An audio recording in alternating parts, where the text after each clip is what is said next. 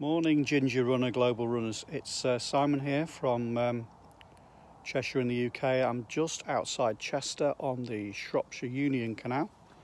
It is uh, five to six in the morning, and I'm getting ready to head off for my, my Ginger Runner run with my mate Jason. He's a proper runner, not like me, he can actually run. Um, so the plan today is we're going to run down the Shropshire Union Canal that goes all the way through Chester. So we're going to run to Chester and get onto the uh, Roman walls and do a lap of the Roman walls of Chester. Chester's a, a Roman city uh, on the River Dee. The river, um, it's quite a large Roman city. It's got walls, amphitheatre, uh, and so on. It, the, uh, it's on the Dee. The it used to basically the Dee it goes to a Dee, the Dee estuary and out to sea, uh, which now the estuary is about 10, 15 miles further down. It's all silted up, but back then it was um, all the way in here pretty much, and all of the racecourse was all underwater, big wide river. So it was a fortified city. Um, anyway, it's very pretty. Hope you enjoy. I'll take pictures as I go, and. Uh, uh, hope wherever you are today, you're having a great run. See, speak to you later. Okay, bye.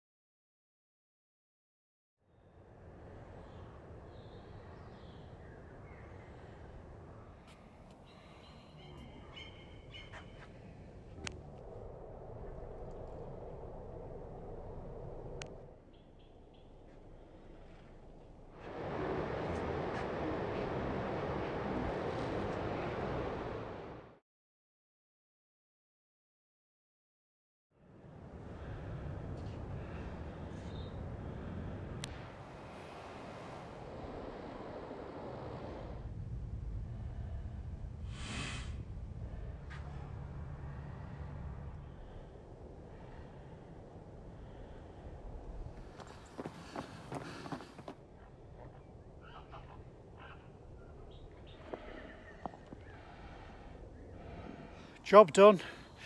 Uh, we were going to go to Wetherspoons in Chester, but we figured from the traffic on the racecourse, it must be Chester Marathon today, so they'll be shutting the roads.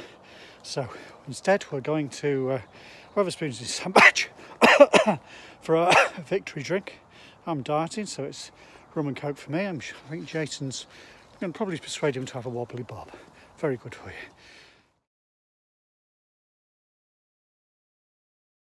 Cheers.